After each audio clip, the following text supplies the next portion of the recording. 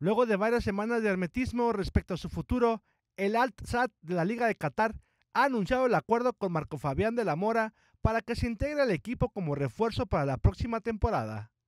A través de las redes sociales, el Club Oriental informó que el mexicano reportará este martes para completar los exámenes médicos correspondientes para posteriormente hacer formal su contratación en el cuadro que es dirigido por el español Javi Hernández. El último equipo de Marco Fabián había sido el Philadelphia Unión de la MLS, donde anotó 8 goles en 25 encuentros disputados. La playera del Al Sadd será quinta que porte el tapatío en su carrera, luego de pasar por Chivas, Cruz Azul, el Eintracht Frankfurt y el ya mencionado equipo estadounidense, informó Isaac Pérez.